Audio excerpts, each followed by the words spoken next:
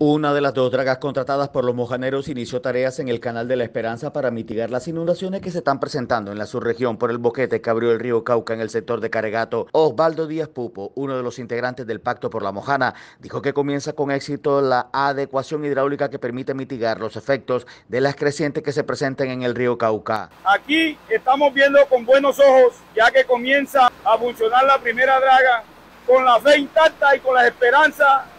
en esta primera draga que comienza aquí en el Canal de la Esperanza y se está tirando el sedimento hacia Caregato con el fin de formular playas y abonos en Caregato para facilitar la intervención que se va a hacer en Caregato, compañeros mojaneros. Líderes del Pacto por la Mojana y Code Mojana mantienen la fe intacta en que podrán cerrarlo antes de que el invierno lo impida. Porque sí pensamos de que debe alargarse unos tres tubos más para que el sedimento quede todavía más aguas arriba, a pesar de que en este momento no le está cayendo sedimento al canal de la Esperanza,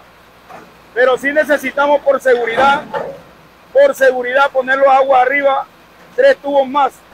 Aquí Dios los bendiga y aquí firme como la mancha el chopo. Los mojaneros con respaldo de las gobernaciones de Sucre, Bolívar y Córdoba contrataron las dragas para junto con las comunidades adelantar las obras que en manos de la Unidad Nacional de Gestión de Riesgo y Desastre se ha quedado en proyectos, análisis, anuncios de reubicación de familia y mal invertido, por lo menos en el gobierno Duque, multimillonarias sumas de dinero.